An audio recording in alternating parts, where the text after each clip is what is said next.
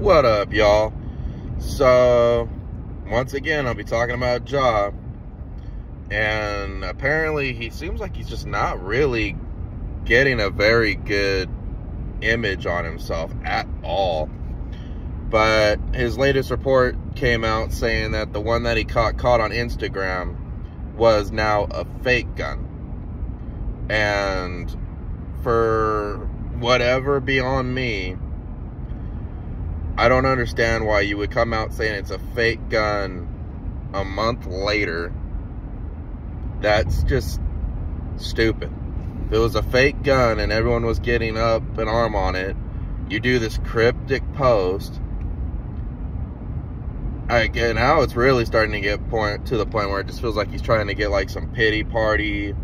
He's trying to change people's impressions of him, but he's doing it all the wrong way. So I originally, even in my original video, I said he should be suspended for 20 for about 20 games. I'm starting to feel like nah, this dude's getting to a point he almost feels like he needs like half a season. I want to defend him and put some of the blame to the NBA because they were accountable to not getting ahead of this. But now he's posting fake gun, like now he's posting that it's a fake gun. He's constantly now trying to do cryptic messages, do different things. And if it turns out being a real gun, that it was a real gun, now he's caught on record lying and openly lying, which means that he doesn't want to learn from what he was doing wrong. That shit's beyond me. Like, he just needs to just take accountability, whether it was a fake gun or a real gun.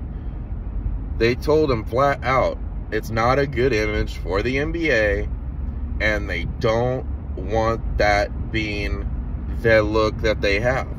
Simple as that, point blank.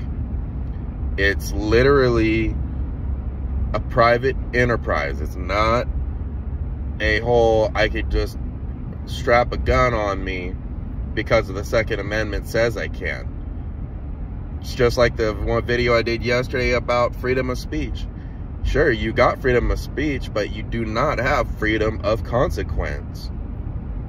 And I'm starting to get to the point I don't understand why everyone has such a hard problem with understanding with with consequences you got to accept whatever comes with it. Because if you put yourself in that situation and you keep putting yourself in that situation it's not no one else's fault. It's yours. The old adage if you pretty much want to play stupid games, you're going to get stupid prizes. And right now, Ja is acting on the stupid prize routine. And this dude, when this dude went to college, this guy's got a degree. So he's pretty, he's smart. But he's not you but he's not using his head or he's just stubborn as hell and he wants to just be his way or no way. And look at what happened for look at what happened to a lot of players who did it their way and not the uh, league's way. Colin Kaepernick, even though he got blackballed and I kind of feel like that was unfair, he died on his sword. That was his choice. NFL made their play and they did get sued. But he made his choice and that was it. Antonio Brown. Granted, now everyone's saying CTE, which he might have because he probably had plenty of concussions. But his actions, still, he racked them up a ton. Now, Ja. Ja hasn't done anything illegal, but he is racking up problems after problems over the last year and a half. Where if this dude don't stop, he could find himself out of the league quick. And I really hope he gets his head on straight. Just start being honest, take accountability to his mistakes. And heaven forbid, learn from them. It's that simple. Just learn. They don't want to see you on Instagram holding a gun. Okay. So, simple as that.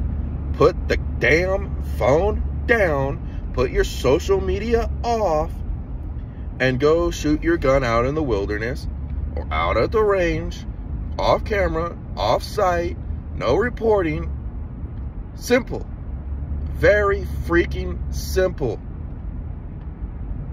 People that there's I'm sure there's plenty of NBA players who own guns, but not a single one of them is over there repping a gun, doing everything to break contract, and trying to do it looking thug.